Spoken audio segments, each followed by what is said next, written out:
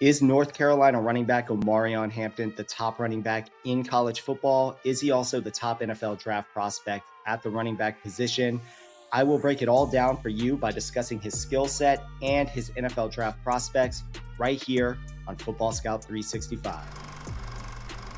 Now, before we get started, I want to remind you to check out our website, footballscout365.com, where you can find our NFL draft big board, all of our NFL draft written analysis, and our written fantasy football content. You can find all of that and more on our website, footballscout365.com. In addition, please check out all of our other analysis videos here on the channel. We have NFL draft content that dates all the way back to the 2021 NFL draft cycle.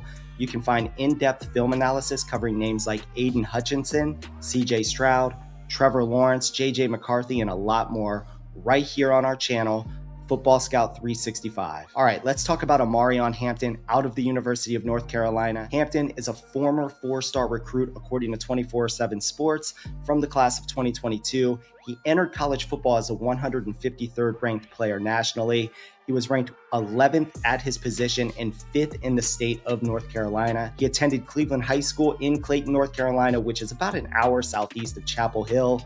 He had a lot of offers coming out of high school, uh, names like Ohio State, Michigan, Penn State, and LSU, uh, but he ultimately chose his home state, North Carolina Tar Heels. Now, in terms of his high school stats, Hampton put up over 5,000 rush yards and 88 rushing touchdowns in four years at Cleveland High School in Clayton, North Carolina. Fast forward to his time at North Carolina in terms of production, he played in nearly every game in 2022. He was part of a committee of backs that would see quarterback Drake Maye actually be the leading rusher on the team.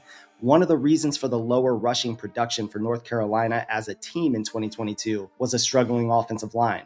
The Tar Heels offensive line ranked 112 nationally in run blocking grade, according to Pro Football Focus. Now, if we move ahead to the 2023 season, Hampton took off in a massive way. He rushed for over 1,500 yards, he had 15 rushing touchdowns, he added over 200 more yards as a receiver with another touchdown. In terms of the advanced data, he led the nation in yards after contact as a runner in 2023. He was 15th in forced missed tackles. He posted 35 explosive runs, of 10 plus yards or more. Everything in the data, it correlates to his actual on field game. When you talk about the yards after contact, he is a powerful runner who understands how to use his densely built lower half to power through traffic, and he has solid enough agility to make defenders miss in space. On top of all of that, he is a patient runner. He allows things to actually set up in front of him. He has great vision. And once he sees the hole, he has an explosive burst where he hits it. And the next thing you know, he is at the second and third level of the defense. Another aspect of his game, and I already mentioned it already, is his powerful lower half.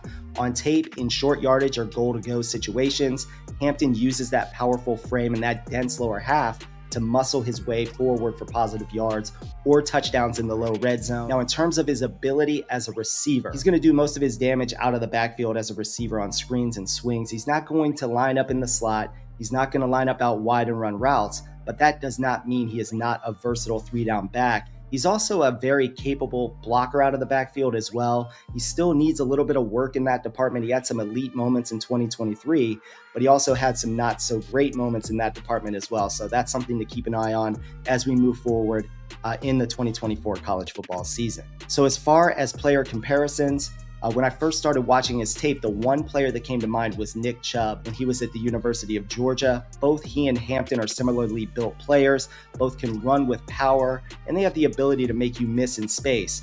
I do think Chubb is a bit more sneaky in terms of making you miss in space, but the similarity in, in terms of style of play is what really stands out to me. Now, as far as his NFL draft capital is concerned, it's still very early, but I currently have him graded as a third round NFL draft prospect.